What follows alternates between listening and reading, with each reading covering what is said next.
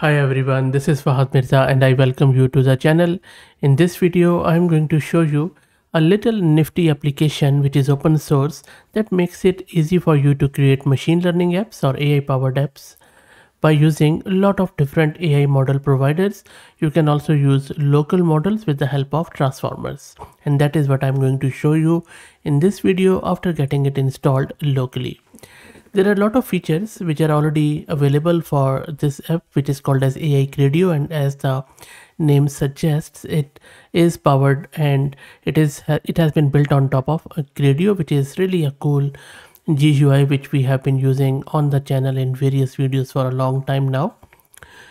You can use this AI Gradio to integrate with 15 plus AI providers which include all the usual suspects like OpenAI, Gemini, Anthropic and the list goes on and on and I'm more than sure this will keep growing. You can do text chat, video chat, voice chat, code generation, a lot of things with the help of this as it, as it is powered by Gradio. So really a good example of how the modular software programming is uh, evolving here where new and novel projects are popping up built on the existing cool projects. So let's get it installed and then see how it works.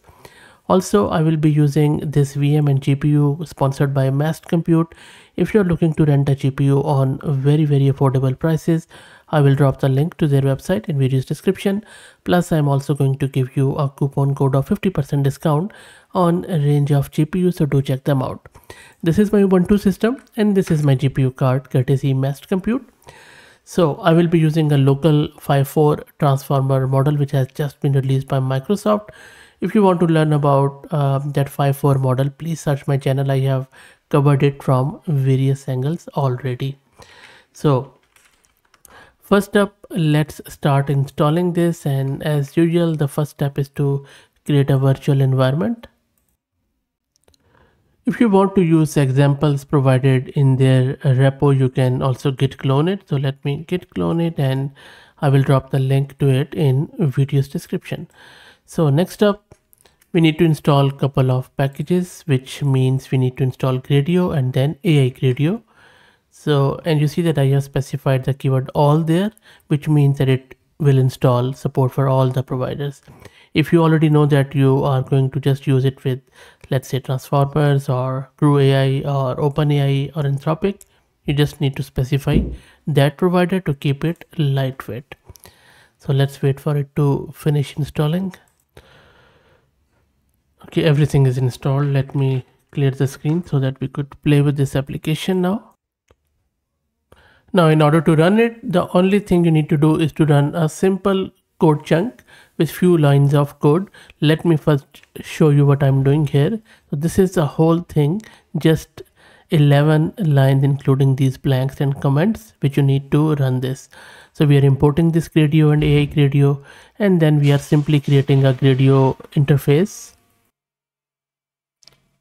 in order to build that chat interface where we are accessing this Phi-4 with the help of transformer. I already have it on my system because i created another video but you can simply download it from hugging face. And if you don't know how to do that just search my channel. It's very very simple. Or just go to my channel and then from there search with maybe Phi-4 so let me show you that video quickly. So if you just search with 5 this second video just watch it and you should be able to download that model it's fairly easy. Okay so i'm assuming that you already have downloaded that model locally and then once you say transformer colon Phi-4 it is going to access it. Uh, at the moment the number of models it supports it's a bit limited. So there is a Tulu 3 and then also Olmo model is supported and then there are also some vision models supported. So um, this is the whole file and then it is going to just launch a very very simple Gradio chat interface. So this is the whole code I am running. So if I take you back to my terminal and if I run that app, it should start a Gradio demo on my local system and you can check out how quick that is. So let's wait for it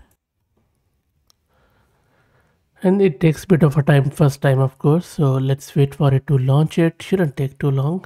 I will just show you in real time what is happening here. And there you go so it is running. And then let me take you there in my browser and then we will just quickly load it there at our local host. At default port of 7860 there you go so you can start chatting with it whatever you want to do. A very simple Gradio interface. There you go. Now i can uh, imagine that this is just a, like any other chatbot and there are thousands of them now.